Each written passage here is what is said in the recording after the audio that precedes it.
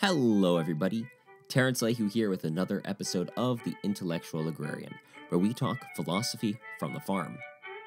Both philosopher and farmer, our guest today is Scott Hebert from Flavourful Farms in British Columbia and host of the Stoic Mettle podcast.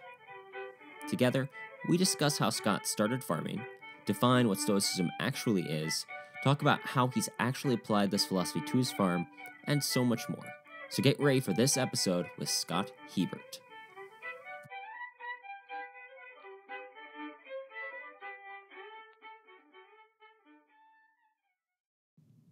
Scott, welcome to the show. Oh, thanks for having me, Terrence. So let's get started by telling us a little bit about your farm.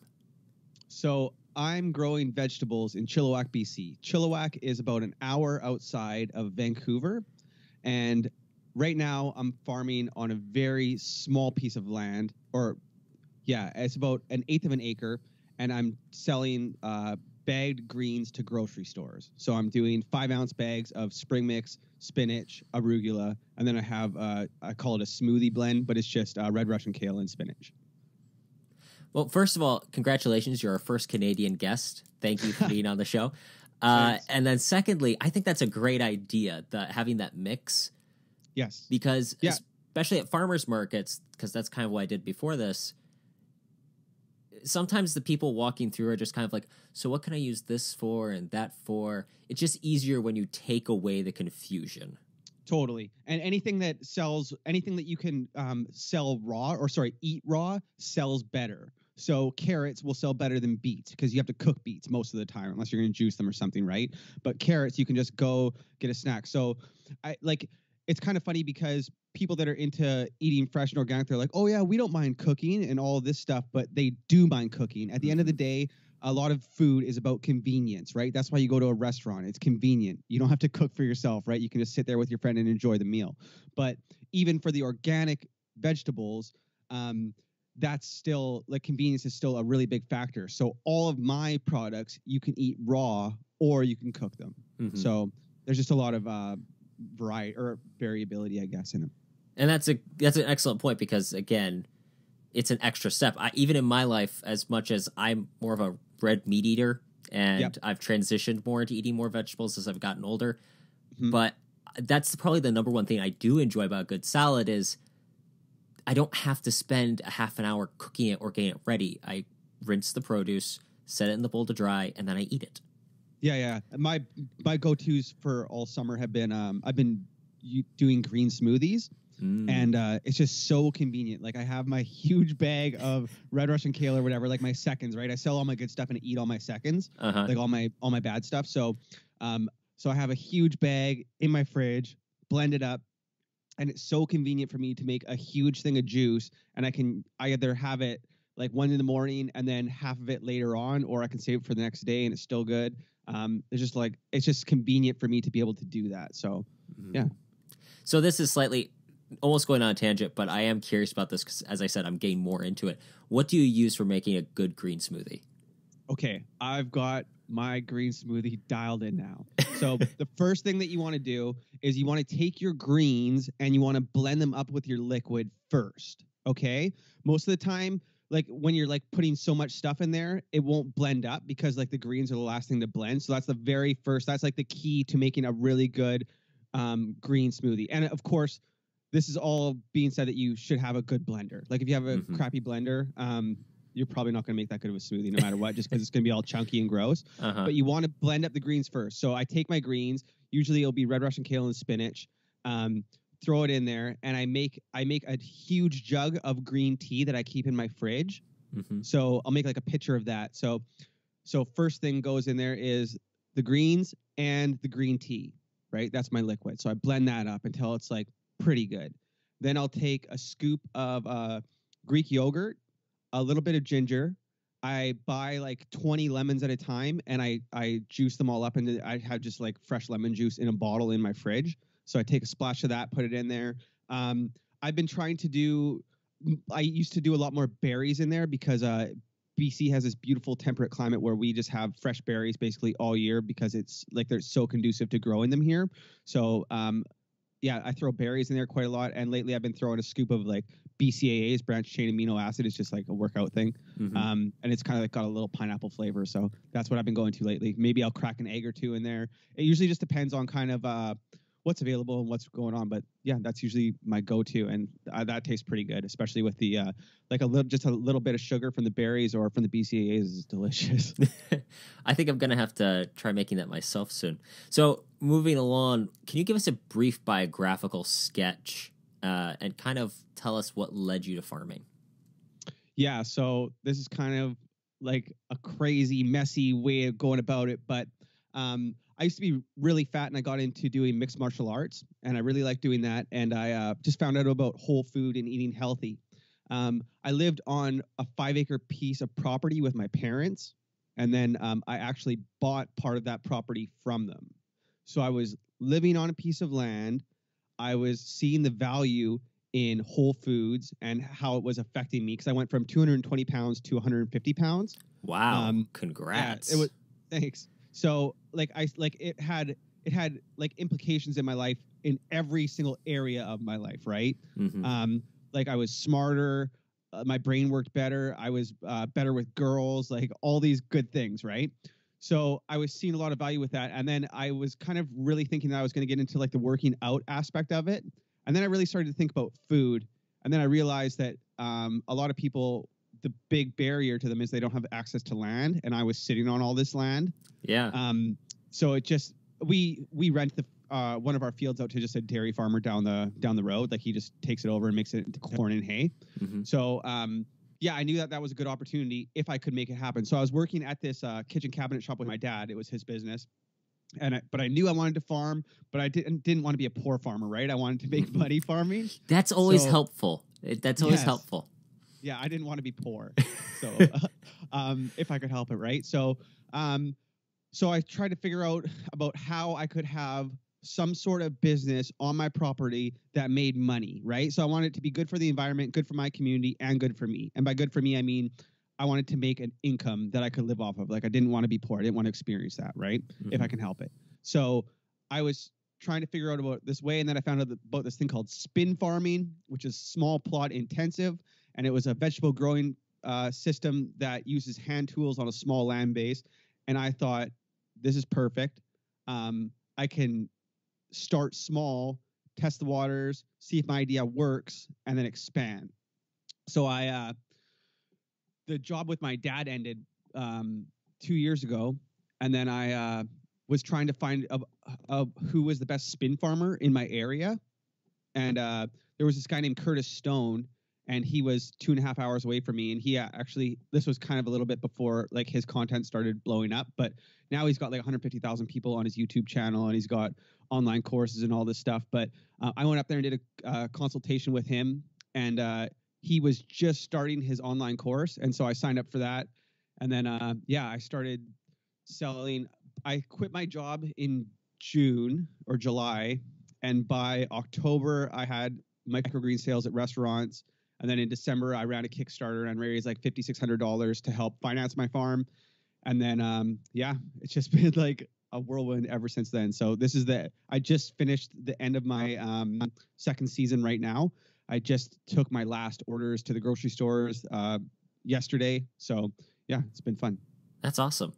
Uh, I recently read a book called Real Artists Don't Starve. I think that there should be a version of that says Real Farmers Don't Starve. yeah, oh, it's so funny. I know it's really funny. I tell people all the time. I'm like, I'm like, I'm doing this to feed myself, but I don't mean that like I'm growing the food for myself. I mean that like I'm want to make enough money so I can go to the grocery store and get stuff, right? Um, but yeah, that's really funny. Uh, I think that's a really big deal. Like a lot of people get into farming for all these ideologies, and they're fine. That's great. I have Mhm. all the ideologies too. I want to save the world. Um, I want to change my community. I want to impact people and stuff. But you have to. It has to be good for you too. Mhm. Like you're not going to save anyone if you don't have your own shit together. So hmm And I think that that's so important because it's kind of like anything that someone goes into saying it's an ideological thing. And then they play the martyr where, oh, I'm suffering for, I'm suffering yeah. for the helping other people. And I'm Yeah, like, you don't no, get bonus points. You don't get to pay. No one's going to pay an extra dollar on your vegetables because you're having a hard time. That's not how the market works. I mean, if you're not making money farming, it's because you're not a good farmer. or you're not Yeah. a good businessman. It's not because you're suff it's not because you're suffering for your art. That's Absolutely. recently become a little bit of a hobby horse with me. I know a couple of people like that. I'm like, dude, just just stop farming. Just please stop farming. Yeah. Not always know, the I- best thing to say as an organic inspector, but you know. no, but I mean it's true, right? Um, there's some people that just have the wrong mindset. I mean, like honestly, if my farm isn't profitable, um, because like right now, sorry, right now I still have a full time job, so I'm trying to transition to going full time on my farm. Mhm. But if if my farm is not going to be able to provide me the income that I want, I'm not gonna I'm not gonna keep farming. I'm gonna quit farming Mhm. and I'm going to grow vegetables on my land and have it be fun and awesome. And I'm not going to try to make money off of it. And I'm going to be happy as hell doing that. Mhm. But if I can make money, I would really like that. I would like to live in that world. yeah, let, let's live in the world where we can make money and Yes, do what we enjoy. I mean, isn't that the goal? absolutely. Now. I want to get into your podcast, of course, and how you've applied philosophy to your farm. But first, can we give the audience a bit of a definition for Stoicism? Because I think that there could be some confusion in that Yeah, there's a lot if of you don't confusion on what- know what a Stoic, what Stoics or Stoicism is. Totally. So, um, I think the first thing that we have to do is uh, say the difference between a lowercase s stoic and a capitalized s stoic. So, a lowercase s stoic in like common vernacular means someone who's uh, suppressing or repressing their emotions. Um, they have like a stiff upper lip, trying to be unemotional. That's not what we're talking about here. What we're talking about here is Stoicism, an ancient Greek philosophy that started 2,000 years ago. Um, there's two kind of like main points I would say to it. The first is the dichotomy of control. So um, there's things that are inside of your control and there's things that are outside of your control. You try to focus on the things that are inside of your control and be indifferent to things outside of your control. So you don't control what happens, but you control how you respond. And the second half of it is um, the Stoics believe that virtue was the sole good. And what they meant by virtue is having excellent character. So you're trying to be the best version of yourself in every single situation. Okay. And I heard you had explained this on your podcast once, and it makes a lot of sense to me. I have a friend, I'm sure we all have friends like this, who they are naturally stoic. Yes. They just they don't show much emotion. They tend to be quieter, just kind of eh, with a lot of things in life.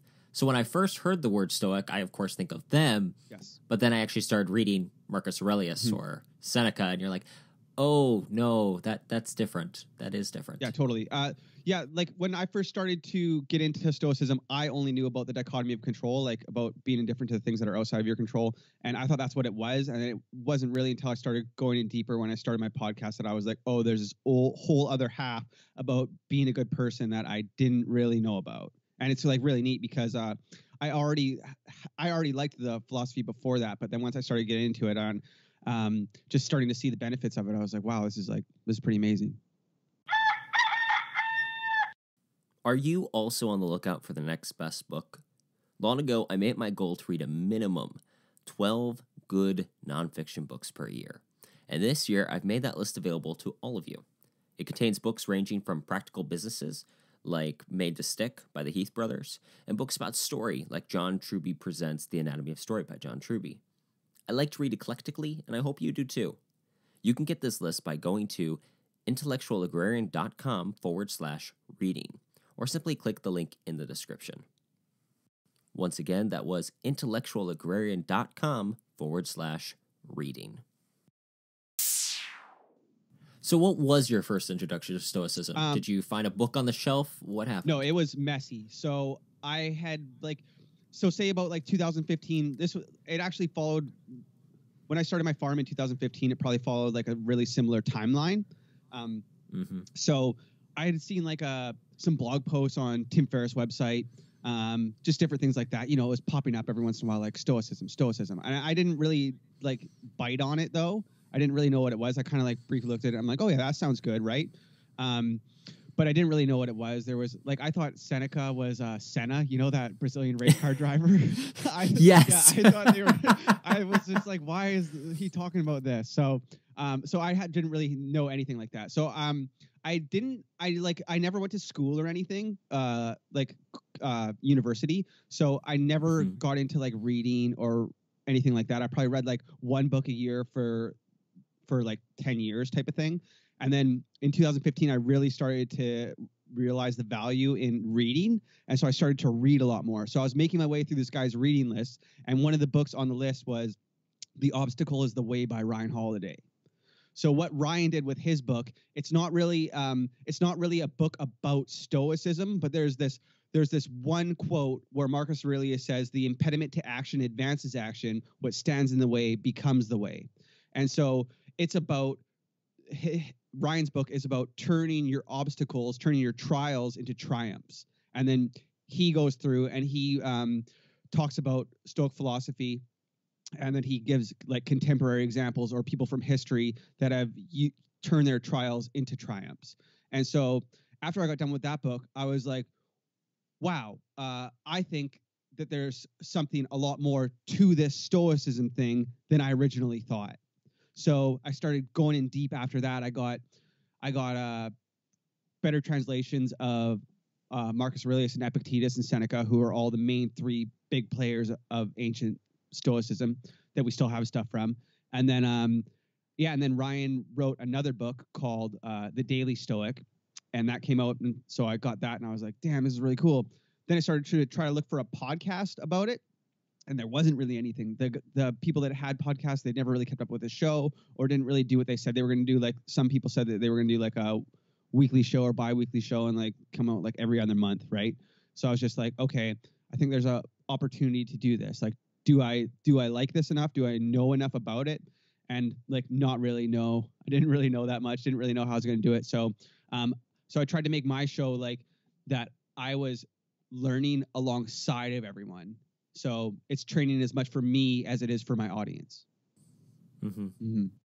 You do provide these Stoic trainings. Uh, you provide these exercises, quotes. Usually start the show from one of these three great Stoics. Yeah and then kind of give some practical application from your own life. Mm-hmm. Would you mind sharing something along those lines, giving us an example of how that works? Sure. To the audience here. Yep. So um, there's one Stoic exercise called uh, decatastrophication, or there's a couple different names for it, but negative visualization is one. Um, in the the ancient Stoics actually called it uh, premeditatio malorum. So that means the premeditation of evils. So what you're going to do is you're going to imagine things going the worst way that they could go. And by putting yourself through that, you're going to be prepared for if that thing actually does happen. So, for an example, mm-hmm. at the beginning of the year, um, I was going to start selling. So at the end of last season, I had a whole bunch of extra lettuce and I took it to grocery stores to see if they were interested in my product and they all said yes. And I was like, awesome, really cool. So I was going to start selling there in the spring, right? But I didn't have contracts. I just had promises of sales. So basically, I was going all winter thinking that I was going to start selling at these stores, but I didn't know if that was actually going to happen. You know what I mean? Like, I believe it when they give me money. So uh-huh. I was experiencing quite a lot of stress and anxiety because I was planting out lettuce and planting out spinach and I didn't know if it was all going to work out or not. And I didn't really have any other plans because I still had a full time job, right? So it's not like I it's not like I was mm-hmm. doing a mm-hmm. farmer's market and restaurants and grocery store. Like I was just going to be doing just the grocery yeah. store. So if this blew up in my face, like what's going to happen? I'm pretty scared, right? And the other thing too is like uh it has real world uh-huh. consequences uh-huh. and stuff because like um when i get nervous and stuff i drink so so it's not like like it's got like real world implications if i crumble under that pressure you know what i mean so um yeah. so what i had to do was i had to sit there and i ran through my mind my most catastrophic worst case scenario so i thought about going to the store taking my lettuce taking a sample going to the store shaking the guy's hand again seeing him um and he says, "No, sorry, Scott, we're going in a different direction." Right? I walk out of the store. I'm like, "Damn! Uh-huh. Now I've got a field full of lettuce. Like, what's my next move going to be?" And then so you start thinking about it. How, like, how can I make this not a catastrophic situation? And I started thinking, well, you know what? I do have a full time job, so it's not like I was relying on my farm um, for an income, right? All my stuff on my mm-hmm. farm mm-hmm. is already paid off. So it's not like I have to worry about trying to keep up with debt. Um, I have a field full of mm-hmm. lettuce, but like if I don't have to harvest and process orders, I have time to throw all that lettuce in the compost, right? So all of a sudden, Yeah. this thing that I was experiencing a whole lot of anxiety about um, really melted away and became a lot calmer because I did this exercise. And I had to do that exercise like a lot. Probably any time that like the doubts became overwhelming or I got really anxious about it. But um, it didn't take away all my nervous energy, but it, it took the nervous energy that I did have and it allowed me to do something productive instead of destructive, like drinking. So it's kind of like almost introducing, if we're going to use biological terms, almost like giving yourself a little bit of an, a shot of an antibiotic to the Yeah. possible disease Yes, so that you're prepared for it. Yeah. So you're just Okay. uh, putting yourself through a little bit of yeah. You're just thinking about what the worst thing is. Um, the decatastrophic um, decatastrophication is actually a term from the psychological literature. So if you're going to catastrophize something, that's like when so if like I went to the store, I could have been and the guy says we're not going to take your products. I could have been like, oh no, this is the worst case than ever. This guy screwed me over. Um, like he told me last year that I was going to start selling there. Um, f him, do this right, and I would have gone like I just would have went on a tangent. When you get hot like that, it's really hard to make good choices. But if I went there and I'd already gone Mhm. through the exercise, I shake his hand, I say thank you for your time, I walk away. I already know what my next move is. Because with stoicism, you're always supposed to default on action. It's not like it's supposed to be a very practical philosophy, a very how to live philosophy. It's not like let's talk about some esoteric weird stuff. This is trying to improve your life Uh-huh. through action. So it's always supposed to default on action. So th- by going through the decatastrophication, I already had my actions planned out for what I was going to do if that happened. Right? Mm-hmm. I think yeah, exactly. I think one of the things that I like about Stoicism, as I've learned more about it, is there's it, it really doesn't try to push anything that is woo woo. We're not trying to worship Oh, some yeah. space thing that we don't know about, and it, it is practical things for daily life. It's so much.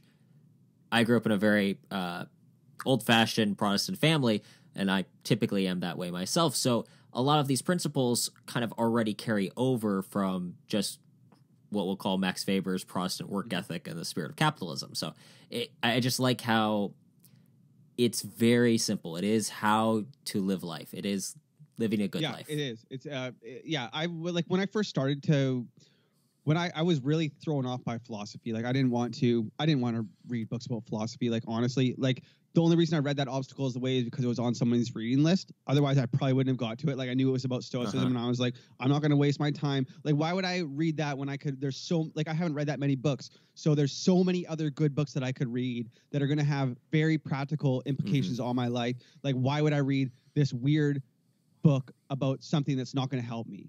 And then I read it and I was like, oh no, this Mhm. is going to help me.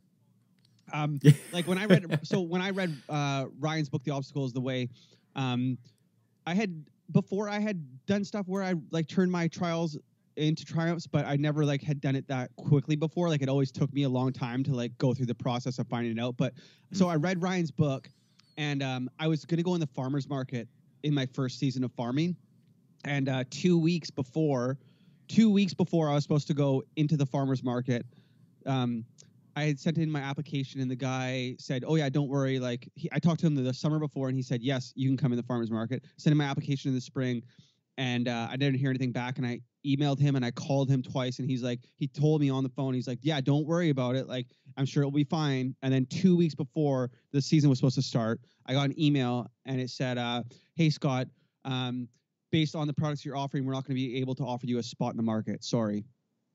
And I was like, shit. Like, what am I going to do? Because I already had stuff. Yeah. Like, it was two weeks. I already had all my stuff planted. I felt screwed over. I was like, this guy told me, like, I went and seen him at the farmer's market. He told me to my face. I talked to him on the phone. He spoke to me. He told me that I was like, that it was, I was mad, right? There was no other way to get into this. But, and I wanted to freak out really badly, but I didn't. I just stayed calm. And I thought, I thought this isn't bad because that's what I wanted to do. I wanted to project, like, I wanted to, that's what I wanted to say about that event, right? I wanted to say that it was bad, but I thought to myself, this isn't bad. This is different. This is different than what I thought was going to happen. It doesn't necessarily mean it's bad, right? So I sat there in front of my computer after I seen the email and I thought, like, okay, what's my next move? Because, like I said before, it's supposed to default on action. You have to make an action. So I had this idea for this buying club that I was going to do, but I didn't have enough time to do it because I was already going to be doing restaurant sales and going to the farmer's market. But now that I didn't have to go to the farmer's market, I had time to do something else, right? So I started doing the buying club thing, and uh, yeah. yeah. So that was that was like that was the first time where it was like instant. It was like I had this problem, and I was just like, no, screw this. I'm gonna I'm gonna become better from this. I'm not gonna let this thing knock me down. I'm gonna Mhm. be better. I'm gonna beat this thing. So that was that was kind of a cool experience. So it gives you a mental model for how to take situations Absolutely. and redirect them Yeah. almost. because like yeah any challenges that you face in life are an exercise in how to live with virtue so how to be the best best version of yourself right so like when that farmers market thing happened i could have crumbled there i could have attacked that guy like honestly i think i know the people that said that that probably like uh, i know the farmers who probably didn't let me in there you know what i mean um so i was Uh-huh. like pissed Yeah. I worked yeah, in yeah, farmers so markets. I, know like, what the politics I was are. ready to bust heads, man. like I was like, uh, you know, I was mad. Like when I get angry, I can feel like the entire temperature of my body get hotter. Like it, there's a very like physical thing, and I'm just Uh-huh. like, I feel all my muscles get tighter. Like my, I can make fists. Like I'm ready to, I'm ready to mess stuff up, right?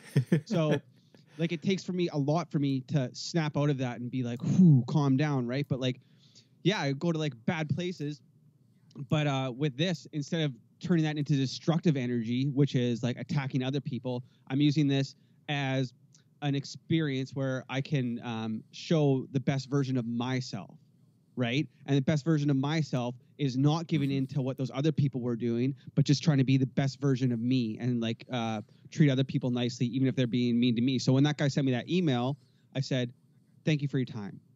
That's the email i sent back. I didn't say f you buddy. Like screw you. You screwed me over. Just said thank you.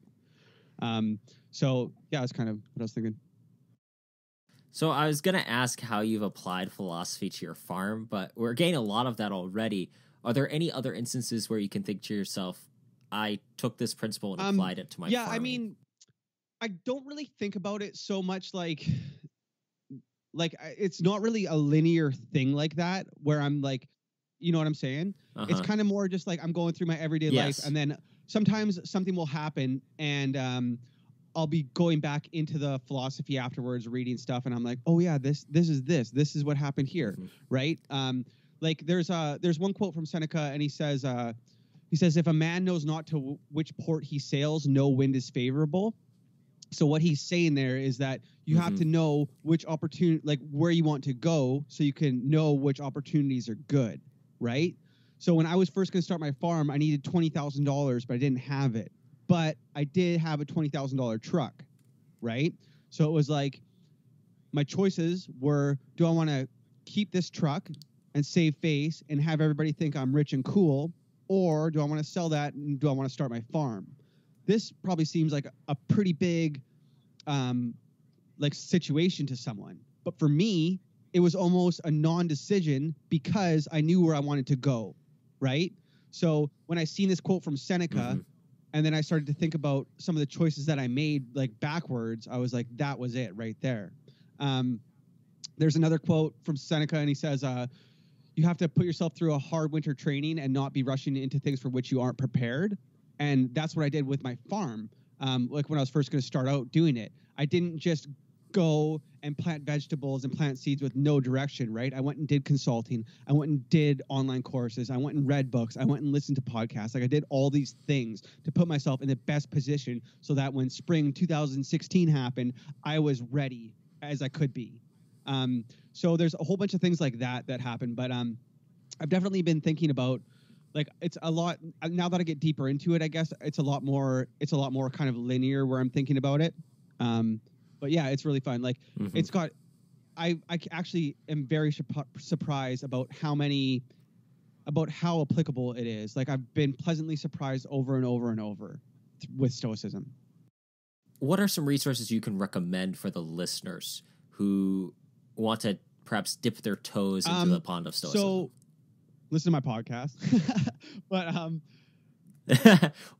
Definitely go listen to his podcast. The Yeah, link is in um, the description. the one really nice thing about the ancient stoics is that they're extremely accessible and by that i mean you don't have to have an education to to understand what they're saying if you get a modern translation which is it's really important to get like a good translation of the stoics but if you get a good translation, um, it's crazy. Like when I first started reading it, it seems like you think like this is 2000 years ago right? This is the, like at the time when jesus was walking around. You think that um you would think that this would be like so different but when you read it it's almost like it's like reading something that uh it seems so familiar. It's got this very familiar ring to it and it's Uh-huh. it's very strange. So um marcus aurelius has a book called meditations and uh that's a really good one. It's um it's got like 10 different chapters they're called books in the book but so it's got like 10 different books in it but they're just like short little paragraphs or a sentence and um, he was writing a diary to himself at night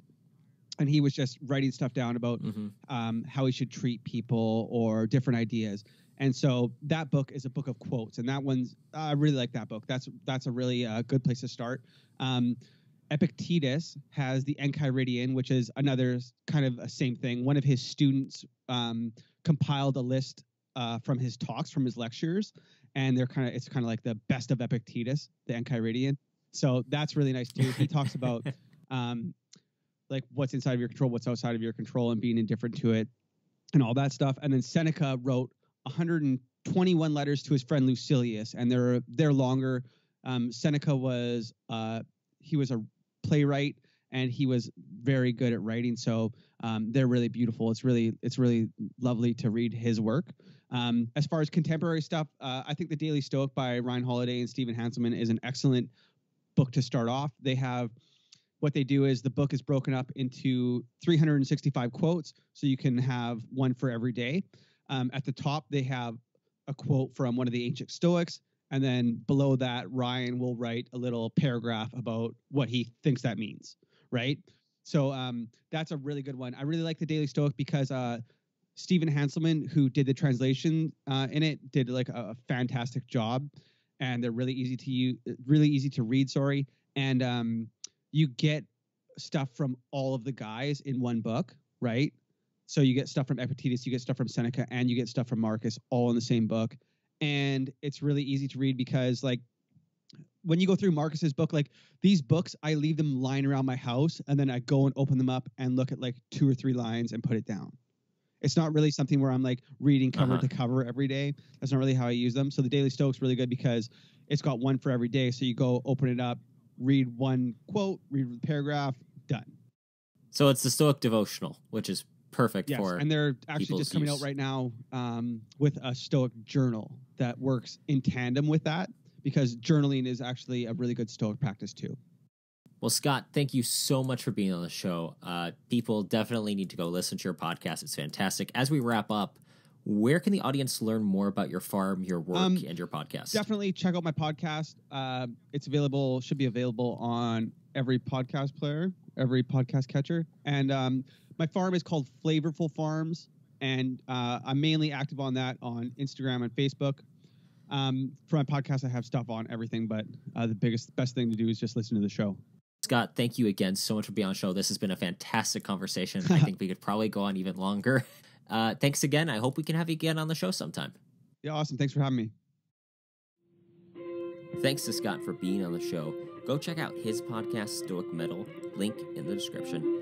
I've been listening to it for a while now, and it has practical insights for applying Stoic principles to your everyday life.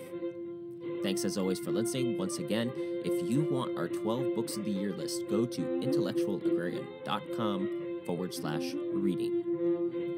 As always, I'm Terrence Layhew. This has been the Intellectual Agrarian reminding you to keep farming the dream.